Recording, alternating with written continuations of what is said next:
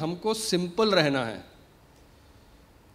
हमको बहुत कॉम्प्लिकेटेड नहीं रहना है। बिल्कुल।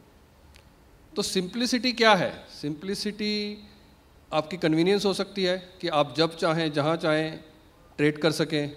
आप मोबाइल से ट्रेड कर सकें आप डेस्कटॉप से ट्रेड सकें आप आईपैड से ट्रेड कर सकें। सिंप्लिसिटी का ये भी मतलब है कि आप के पास बहुत सारे ऑप्शन हैं।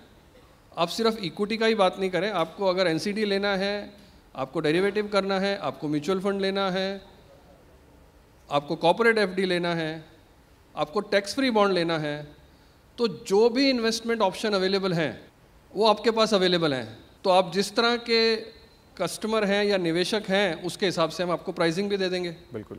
तो ये भी सिंप्लिसिटी हो गई।